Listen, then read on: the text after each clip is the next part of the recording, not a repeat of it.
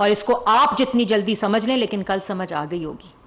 कल आपको पता चल गया होगा। इसलिए गोली खाएँ और सुकून करें। सुकून की नींद सोएँ। आराम से आराम करें।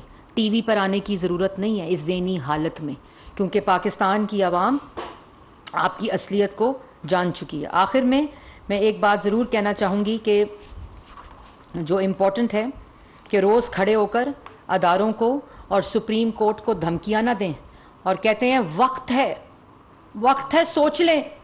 सुप्रीम कोर्ट भी सोच लें और न्यूट्रल्स भी सोच लें। आज ये पैगाम दे रहे थे। तो न्यूट्रल्स ने भी न्यूट्रल रहने का फैसला किया है। सुप्रीम कोर्ट ने भी आइन के साथ खड़े होने का फैसला किया है।